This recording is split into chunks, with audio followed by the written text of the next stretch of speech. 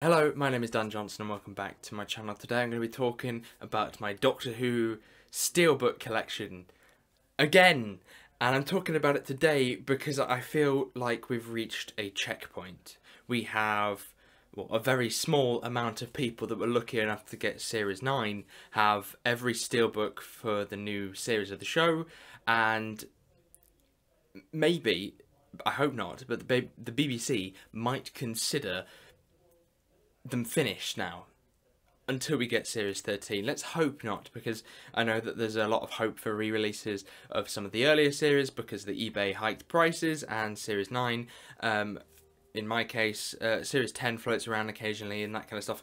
People really would like to complete their collections and I don't see why not and I just hope that the BBC will do that eventually. Um, but it does feel like we've reached the end for now. So today I'm going to be going through all of my steelbooks that I own, from the Peter Cushing movies to Classic Who and the reanimations to New Who.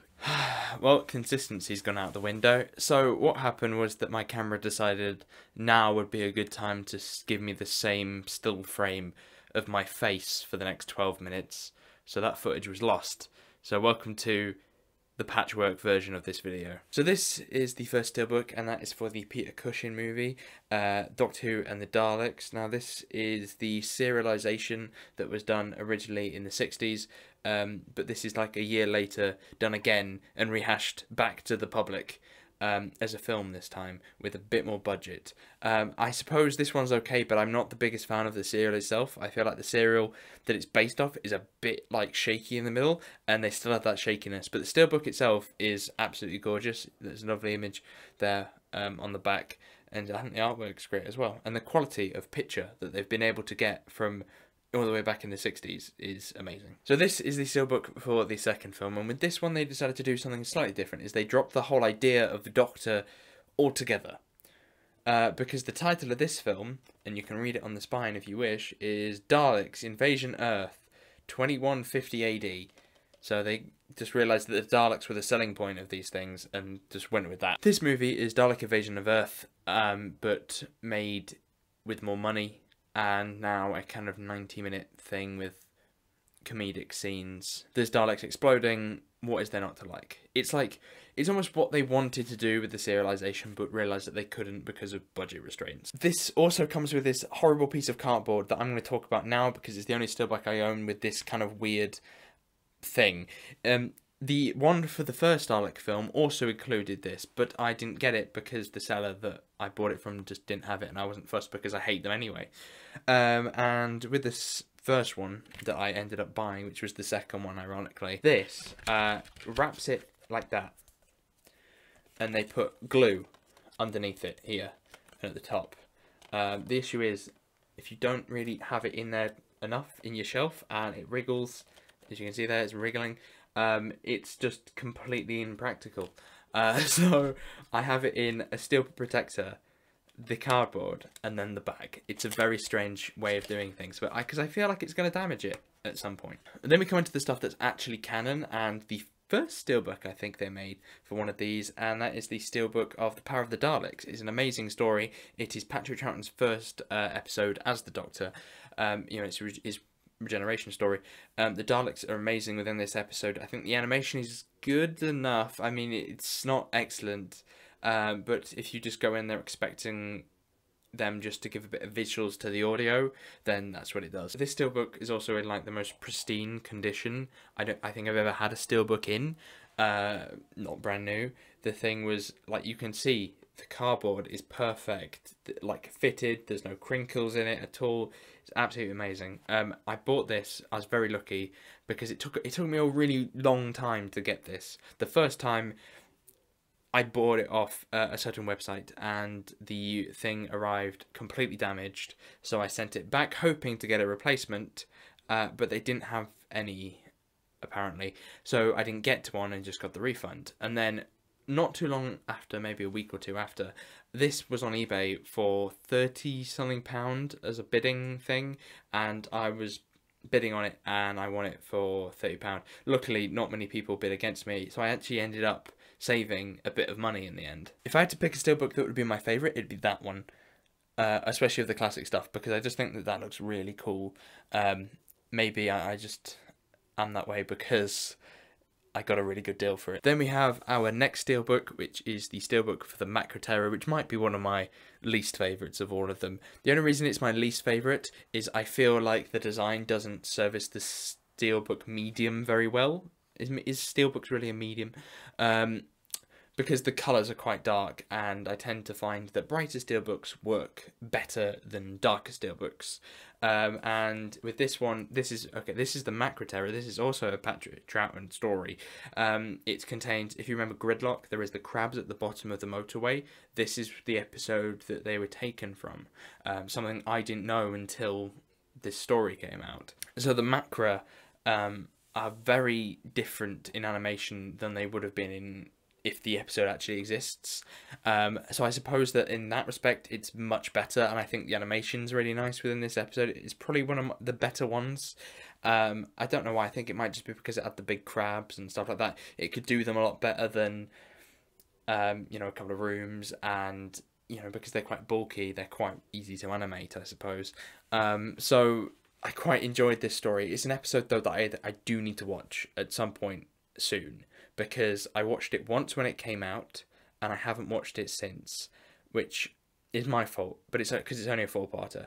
Uh, but I will uh, get around to it at some point. But it's a pretty solid story last time I watched it. And then our next steelbook is also one of my least favourite steelbooks, and that is the steelbook for the faceless ones. The reason that I'm not a big fan of this steelbook is because I feel like the idea of the faceless ones is not resembled within this image. Although, once I watched the story and realised that a lot of it is just the airport, I was quite happy with the steelbook. Um, but I can't say it's one of my favourites still.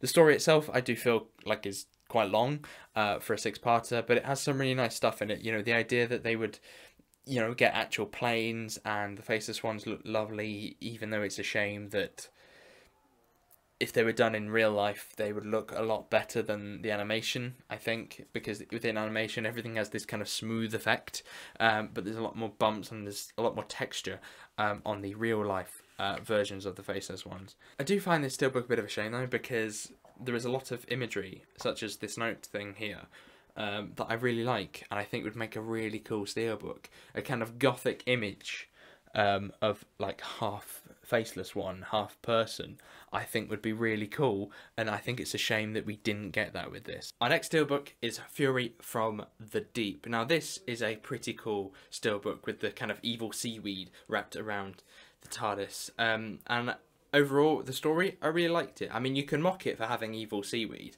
but it was still pretty um, horrifying in moments, and it had a lot of sort of horror characteristics characteristics that I really liked. Um, the animation itself was a bit weak, but I mean, what do you expect from these kind of things? I mean, we really should expect better, but then again, I also find this steelbook really striking and quite uh, nice. Once again, I think it might be the bright colours that make them look better, um, but pretty solid release. Interesting thing about that one, um, so those three that I just talked about, all of them I bought on release uh, for about 27 I don't know what the retail price of them is, I think it's about it. Um, but Fury from the Deep was a bit weird because I bought it for retail price, but for some reason, unlike the other ones, the prices of them normally hike. This one didn't hike, and I'm not quite sure why. You can currently get it for like £15. So if you're after a steelbook, um, and promise that you won't fall into the rabbit hole I've fallen into, that would be your best bet. And then we have one of my favourite episodes of Classic Who, Spearhead from Space. This is Jon Pertwee's first episode. It's really well written, and I just find it such a pleasure to watch. And because it's it was filmed on film originally, it converted very well to Blu-ray, which meant that we got this release. And I think that it's just absolutely gorgeous. The image quality is amazing. This steelbook I think it was like a Zavvi exclusive thing. They didn't make many copies of it. um, and it does have this very weird, um, almost plasticky feel, which is ironic because it's about the Autons. But overall, this release is absolutely lovely. Then we have our final classic one so far, which is Shada. Now, this is a story I watched recently, and something that I really do wish that they did, which they didn't do for some reason, is add in the cliffhangers. I understand that the episode wasn't finished, so therefore didn't have cliffhangers, but doing it in parts would have made the thing a lot easier for me to consume than just watching it in one go, um, because it's still a six-parter. So bear that in mind, because they don't, you know, take breaks. This thing is like a, a two and a half hour movie. Um, and because of Classic Who and how it's formed, it doesn't work in terms of pacing um, and because it's supposed to be enjoyed as a six-parter, but I don't think they knew where the cliffhangers were or something like that, um, which meant that there's no option to watch it in episode format. It's a shame because the episode itself is really good. Tom Baker's on form. Uh, they spent a lot of time on location in, I think it was Cambridge. There's lots of lovely little moments with Tom. Um, there's a moment with a bike and it says no cycling and he apologises to a sign, which is quite a nice moment. Um, overall really big, ambitious story that I did enjoy. I was just put off by its runtime. But the steelbook itself looks lovely. Can't deny that this thing has some kind of style.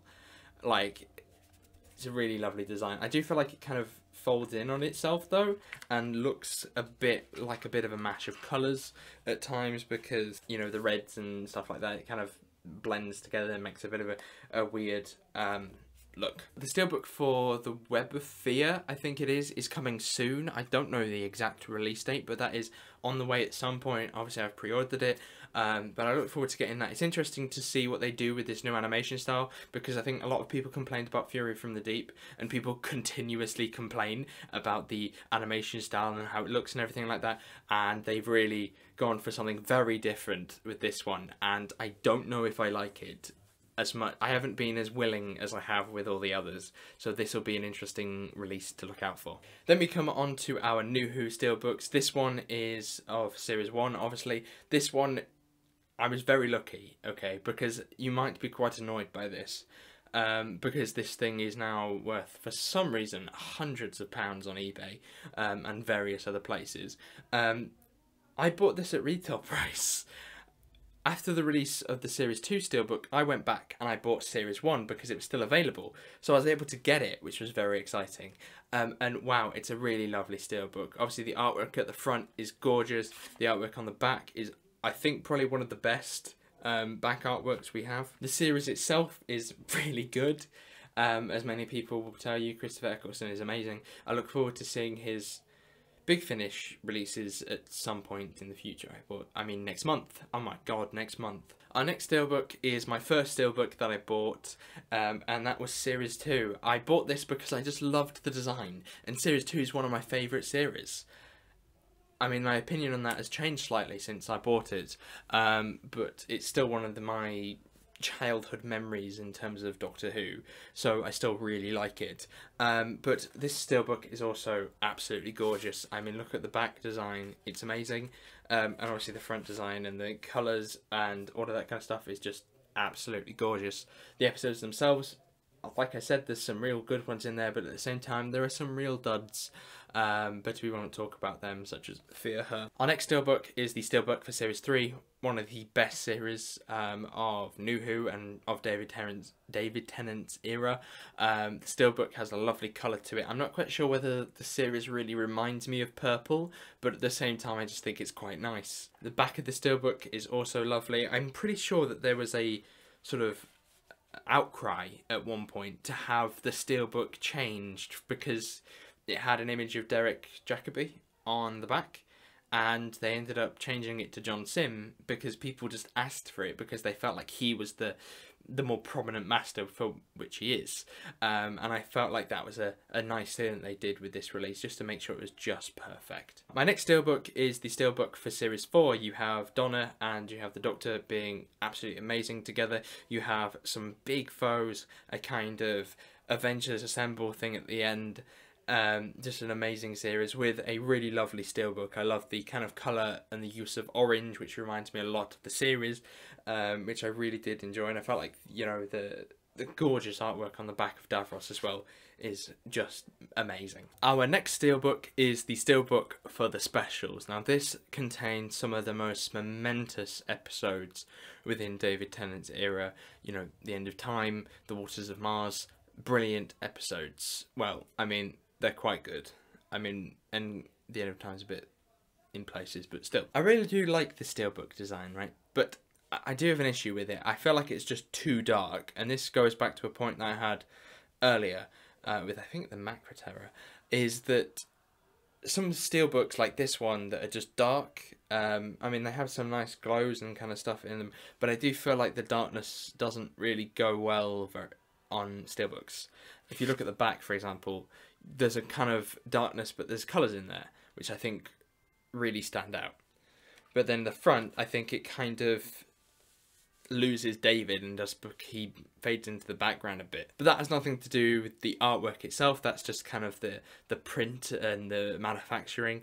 Uh, the artwork itself is lovely, and I'd love it. I love to see it on one of those big uh, movie poster things. You know, like like them. Our next steelbook is the steelbook for Series 5, an absolutely amazing series here from Steven Moffat. I think the artwork is gorgeous as well. I just love how she included the painting all the way through the steelbook, uh, which I think gives it a nice effect of it relating to the series, which is something that I really enjoy with the these later ones, is that they relate a lot to the series that they're made for, which I really enjoy. I also bought this one at uh, retail price. In fact, I did an unboxing of this one.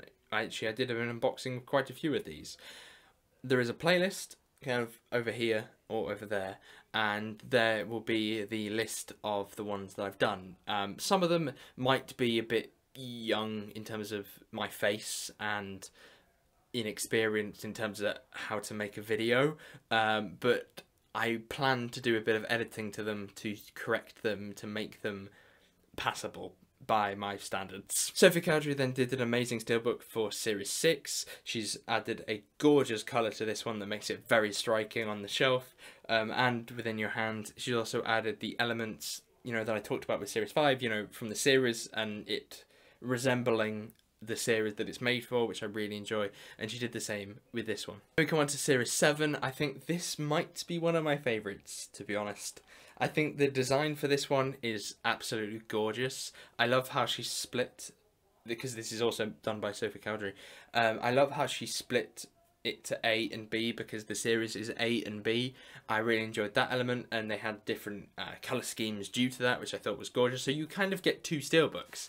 If you're not a big fan of you know part A, you have part B, which I did quite like, even though they would bend the wrong way. But you know, still the color schemes, the composition, just absolutely amazing once again. So we've had a steelbook for all the way up from series one to series seven now, um, and I think it was inevitable that at some point we would get one for the Day of the Doctor, the 50th anniversary special. Now, this one is also really lovely. Lee Binding did this one, who does the collection box sets, and I also believe he did a lot of the 50th anniversary uh, promotional art stuff. He did an amazing job with this steelbook. It really has a huge scale. I love the Daleks. I love the colour scheme. The way he was able to fit the War Doctor and all of that kind of stuff without the thing feeling uh, too cramped. I think it's the right amount of cramped. This steelbook is basically the contents of the collector's edition uh, box set brought into steelbook form, which is really nice. So you get Adventure in Space and Time, uh, you get Night of the Doctor, you get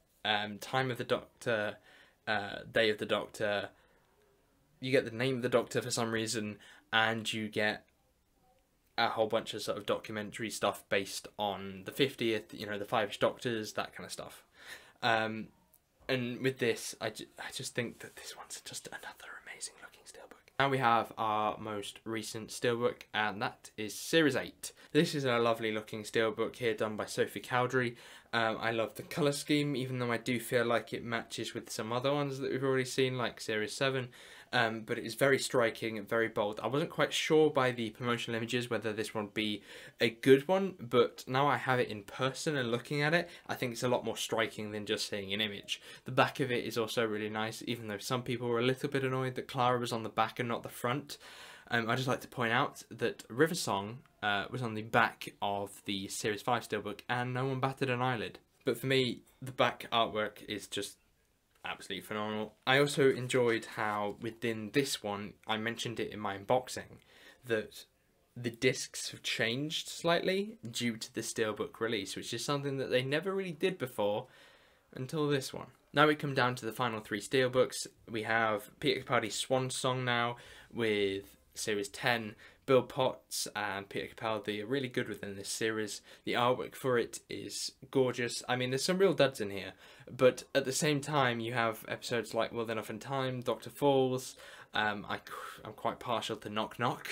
Um, so as I've kind of got a little bit older, I suppose, or kind of been taken out of the whole media bubble with the series, I think I've enjoyed it more. Um, and the artwork for this one is probably the most original artwork you get for any other steelbook. Um, so I have to congratulate them on that. I would say because it is like the most original and the most sort of off what they did with the others, it doesn't really match them.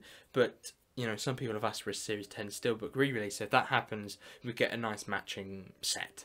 Then we go on to one of the, I think, the weakest steelbooks, and that is the steelbook for Series 11. This is very plain. It could have worked, but I just don't think it does. Maybe it's the darkness thing again, um, but I just didn't think it worked very well, especially the back. Um, not very striking, if I'm honest. There was, and it's a shame because there was lots of gorgeous artwork for Series 11, and yet none of that came through in this. Then again, the least said about Series 11 and the better, isn't it? And then our final steelbook is the steelbook for Series 12. Overall, a bit of a rocky series, um, much better than Series 11 for sure, uh, but still had some issues. The Timeless Children, something that is still sending ripples through the Doctor Who fandom uh, a year later. Um, this steelbook itself, though, I think is really nice. It definitely improves what Series 11 lacked. Um, it's got some gorgeous colour and some lovely artwork. The artwork at the back is also very nice as well. I really appreciate the craft that went into almost painting the characters. Um, it's almost like you're holding a, you know, an art an art print as a steelbook. But saying that, steelbooks are art prints, aren't they? Really, at the end of the day. Um, so what is your favourite steelbook um, out of the collection? Do you have that Series Nine steelbook? And uh, no, you cannot brag in the comments. That would be really annoying. Do you, like me, hope for a re-release of the Series 9 Steelbook? Just fingers crossed, everyone. Due to another camera fault, I've switched to voiceover to end this video. So, thank you very much for watching. Hopefully you did enjoy this video. If you did, make sure you give it a like. Subscribe if you're new. And I shall see you soon. Goodbye.